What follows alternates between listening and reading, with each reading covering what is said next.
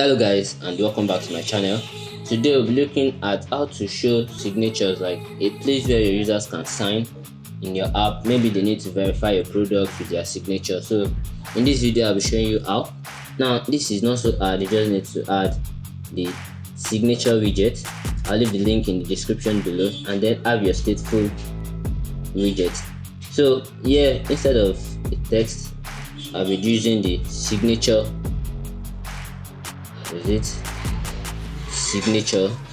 And I need a controller so I'll create a controller here.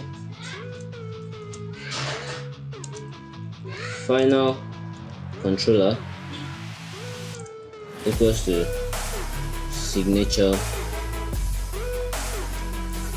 Signature controller. Alright?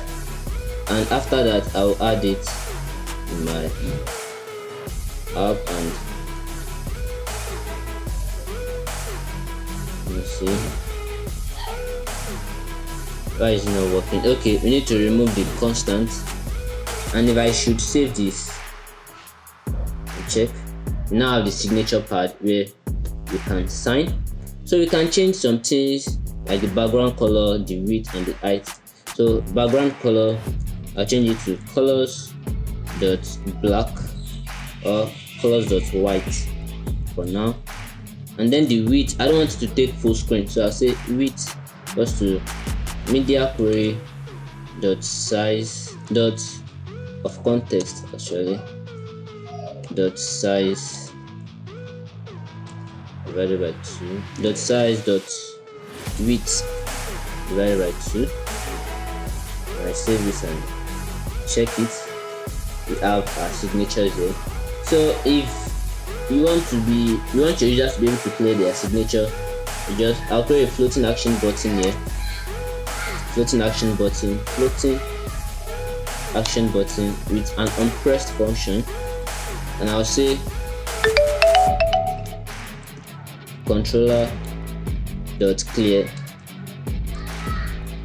Controller dot clear and if i save this and once you press this here it will clear all the signatures is created.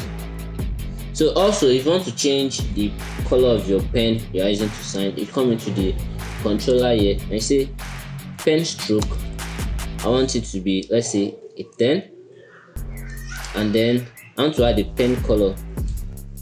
Let's say colors dot red. And now i'll have to restart. And i should check this now. And see it changed so this is just a way to check to add a signature pad in your flutter app. If you like this video kindly like it comment down below share it and i'll see you in the next lesson